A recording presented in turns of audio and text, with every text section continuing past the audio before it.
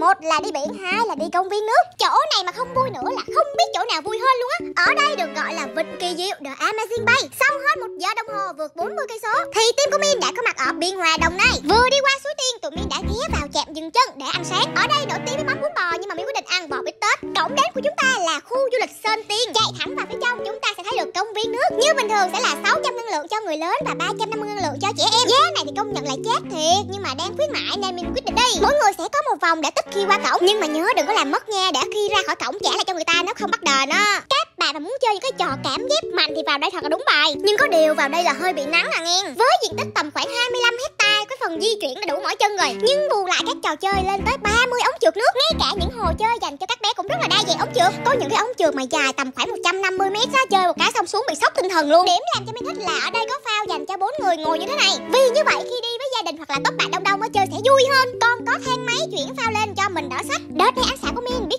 điểm đến nên có mang theo đồ để bơi. Ăn trước khi chơi quả là một sai lầm. Cái máng trượt nó lên xuống lắc qua lắc lại vòng vòng. Bạn nào mà không vững tinh thần bảo đảm xuống đến nơi là ối liền. Có nhiều cái ống trượt á, chỉ nhìn thôi thấy sợ rồi. Đâu có dám đi.